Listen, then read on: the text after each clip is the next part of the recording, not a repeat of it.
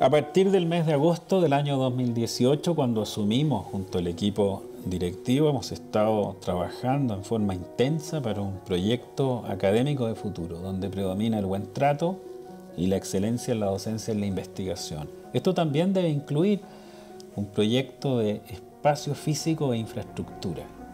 Y sobre esta materia quiero informarles hoy día porque hemos llegado a construir lo que denominamos un plan maestro que tiene cuatro etapas principales. La primera etapa contiene una terraza que tiene una vista espectacular al Cerro San Cristóbal, la construcción de altillos, salas de clases adicionales y también nuevos servicios higiénicos. La segunda etapa consiste en una ampliación en salas de clase del edificio Santa María, un auditorium y nuevos servicios higiénicos. La tercera etapa, una habilitación y remodelación de un subterráneo, lo que tradicionalmente hemos llamado las catacumbas de la facultad, en las cuales se van a incorporar salas de estudios para los alumnos y nuevos recintos cerrados para actividades deportivas y servicios higiénicos. En la cuarta etapa, las tareas de este plan maestro comprenden la habilitación y remodelación de un subterráneo que incorpora una conexión entre el edificio de Santa María y el casino en subterráneo del edificio de los presidentes y un aumento en superficie de 148 metros cuadrados, como también la ampliación del piso de los presidentes y auditorios. En esta escuela han estudiado 17 presidentes de Chile e innumerables hombres y mujeres influyentes en la historia política, cultural, artística e intelectual de Chile. En sus primeras décadas, la escuela tenía 700 alumnos. Actualmente, más de 2.400 y está en proceso de permanente crecimiento, para lo cual está implementando un proyecto de remodelación y ampliación de su campus. Podríamos definir el encargo como la oportunidad para modernizar la infraestructura física y tecnológica de la facultad, en un entorno de alto valor patrimonial, un acondicionamiento acorde con los cambios que demandan las prácticas pedagógicas contemporáneas y los procesos de enseñanza-aprendizaje, muchos de los cuales seguirán de manera híbrida o semipresencial.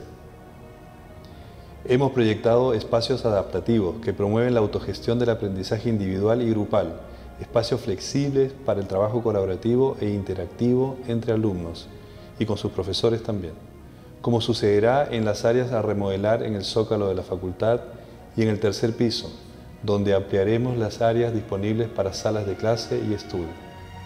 Estas mejoras requieren áreas de descanso y recreación al aire libre, las que se ampliarán en el nuevo Jardín Santa María y la terraza del Cerro San Cristóbal, sobre el barrio Bellavista.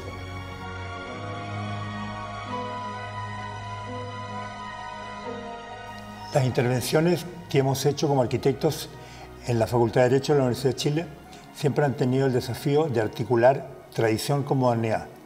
Tradición porque se trata de un edificio de carácter patrimonial de Juan Martínez, que se construyó entre 1934 y 1938, y modernidad porque a partir de los años 70, 80, 90 se le han hecho varias intervenciones en las cuales nos ha tocado intervenir que son las remodelaciones de la biblioteca, el aula magna y posteriormente el edificio de los presidentes, que es totalmente nuevo.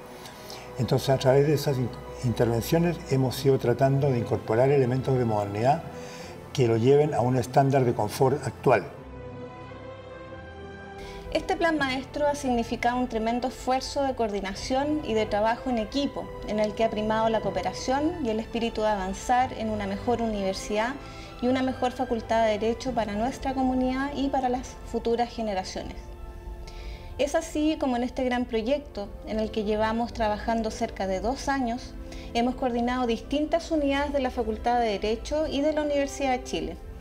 Decanato, vicedecanato, Dirección Económica y Administrativa, la Unidad de Infraestructura de la Facultad y la Dirección de Servicios e Infraestructura de la Universidad de Chile. Todo ello junto a los arquitectos Humberto Liash, Jorge Marcino e inicialmente Ignacio Covarrubias.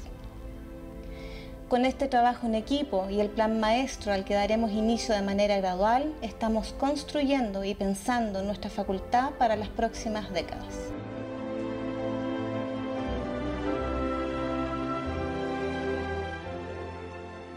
Estudiar en esta facultad, sabiendo que en sus aulas y pasillos también estuvieron personajes determinantes en la historia política, cultural y social de Chile, por supuesto que me llena de orgullo. La relevancia de mejorar la infraestructura para las nuevas generaciones será la de permitir a la facultad formar más y mejores generaciones de abogados.